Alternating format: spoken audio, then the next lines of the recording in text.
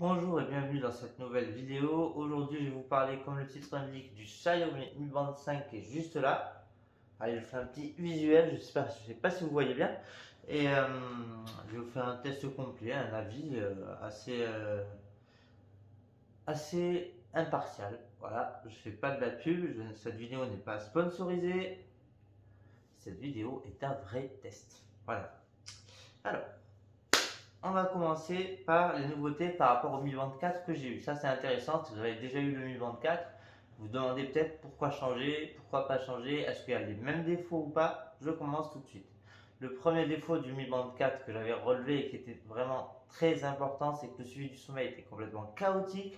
Pour ma part, en tout cas, un jour, euh, un jour sur trois, ça marchait. Des fois, il ne suivait pas le sommeil. Des fois, il le suivait n'importe comment. Là, le suivi du sommeil est très précis.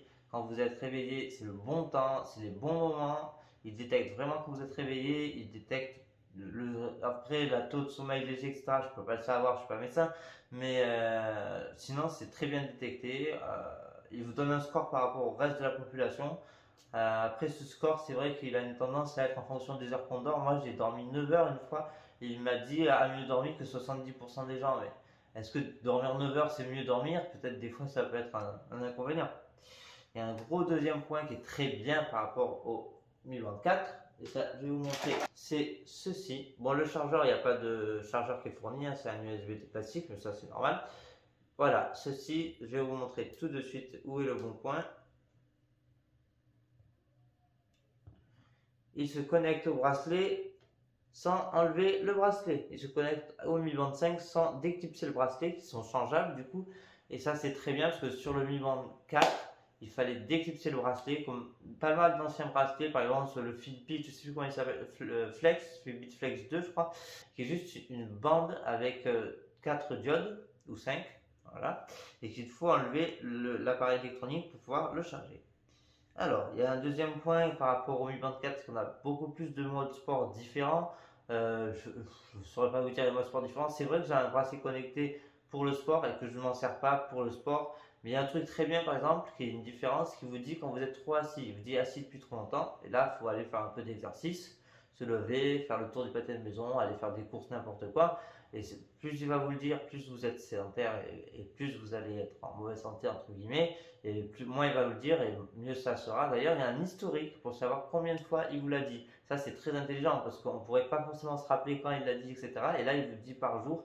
Et le, le dernier jour, combien de fois vous l'avez l'alerte pour euh, dire que vous étiez trop assis. En plus des et des kilomètres, c'est vraiment un petit truc sympa. Alors, le dernier point, qui est deux points, on a, la mesure on a la mesure du stress, je vais arriver, on a la mesure du stress, très important, ça marche très bien. Moi, j'ai été vraiment bluffé parce que ce n'est pas calé sur le rythme cardiaque. Ça, on a toujours le rythme cardiaque. La différence quand même sur le rythme cardiaque, c'est c'est en temps réel comme le stress quasi temps réel, c'est pris toutes les 1 à 4 minutes, c'est vous qui choisissez. Le pouls n'est pas égal au stress. Je ne sais pas comment il mesure le stress, j'ai essayé de chercher, j'ai pas trouvé, je voulais vous renseigner, je n'ai pas trouvé. Et euh, en fait, c'est vraiment précis, c'est assez, hum- c'est assez euh, bluffant, c'est vraiment bluffant. Moi, je suis quelqu'un de plutôt stressé apparemment. Enfin non, je le savais déjà que j'étais plutôt stressé, mais il le détecte vraiment comme ça. Et quand je me sens très détendu, je regarde, j'ai regardé hein, pour faire le test. Effectivement, j'avais un niveau de stress bas, mais ça te permet d'avoir un niveau précis. Bon, J'en ai fini pour ça. Dernier point par rapport au Mi Band 4, c'est qu'on a la respiration, les exercices de respiration avec un module qui s'é- qui s'étend et qui se referme, euh, un peu comme un diaphragme, mais c'est une bulle, et, qui, avec des instructions, euh, des instructions en texte. Mais voilà, c'est très bien, c'est bien pour déstresser, pour décompresser, ça marche. Mais par contre, c'est toujours le même exercice. Il n'y a pas plusieurs exercices de respiration. Ça, c'est un peu dommage, je trouve. Maintenant, on va passer à l'autonomie. Alors, ils annoncent 15 jours. Ils annoncent 15 jours maximum. Euh, c'est peut-être faisable, mais il faut tout désactiver. Quoi. Donc, ça n'a aucun intérêt. Moi, je tiens à peu près une, bonne semaine, un peu moins, un peu plus, ça dépend. Euh, mais je retiens une bonne semaine en faisant pas spécialement de sport. Voilà. En plus, là, je suis plus ou moins alité, ce qui fausse peut-être un peu le test. Enfin, quoique, je sais pas si ça fausse vraiment le test. Après, je sais que le GPS, c'est celui du téléphone qui est utilisé, donc c'est censé pas trop le fausser. Mais voilà, je fais pas vraiment du sport parce que je suis agi- je suis pas alité, mais enfin bon, je vais pas m'étaler sur ma vie, mais voilà, je peux pas trop en faire. mais je suis pas un grand sportif non plus de base. Euh, mais par contre, voilà, une bonne semaine en ayant activé le suivi du stress H24, le suivi du sommeil, le suivi de la fréquence cardiaque, donc j'ai quand même quasiment tout activé, si ce n'est tout, et ça tient une bonne semaine. L'écran OLED, hop, je vais vous le montrer un peu, c'est sûr que c'est filmé, donc ce sera pas forcément probant. Il est là, hum, il est de très bonne qualité. Franchement, il euh, n'y a rien à dire là-dessus. En plein soleil, on y voit. Euh, dans le noir, on y voit. Nickel.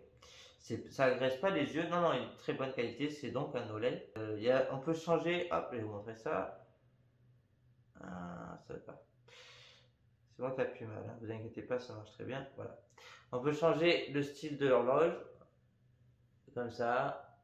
Comme ça. Il y a plein de styles différents, sauf qu'il y a un store, mais c'est pas un vrai store.